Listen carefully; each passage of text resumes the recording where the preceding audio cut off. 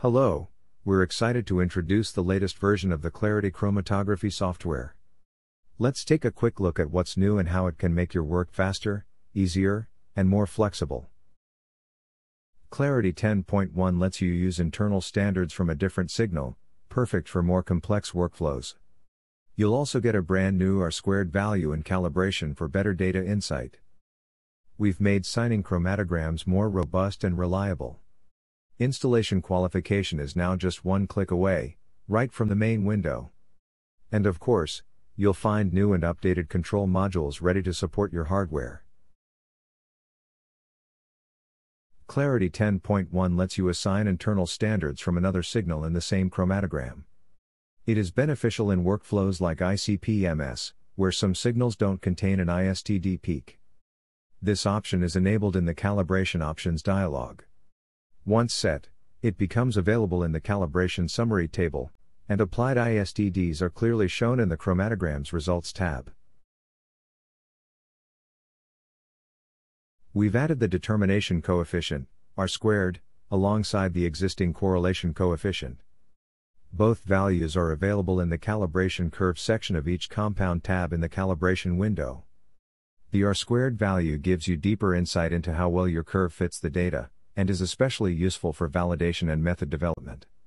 It is calculated automatically using the formula shown on screen.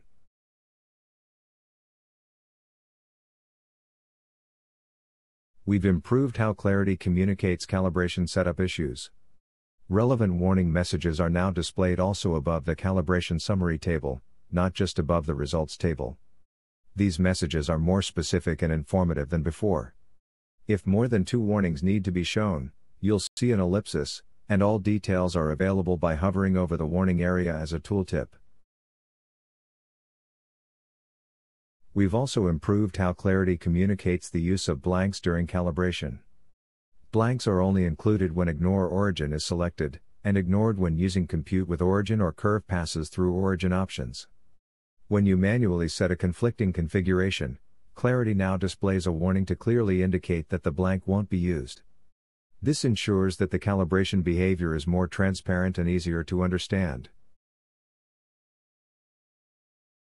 In Clarity 10.1, working with signed chromatograms is now much clearer. Chromatograms opened with a linked calibration are always shown as not signed.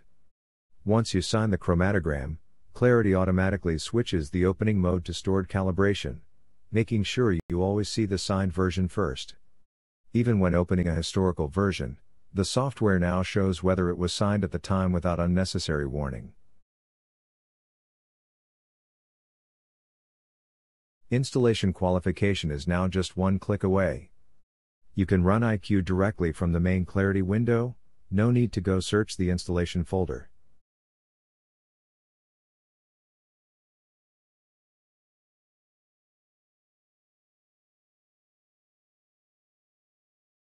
This version also includes new and updated control modules from Axcend, Ecom, Testa Analytical, Agilent, SciComm, and Young in Chromass.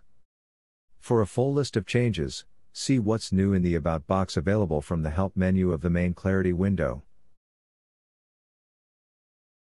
Thank you for your interest in Clarity.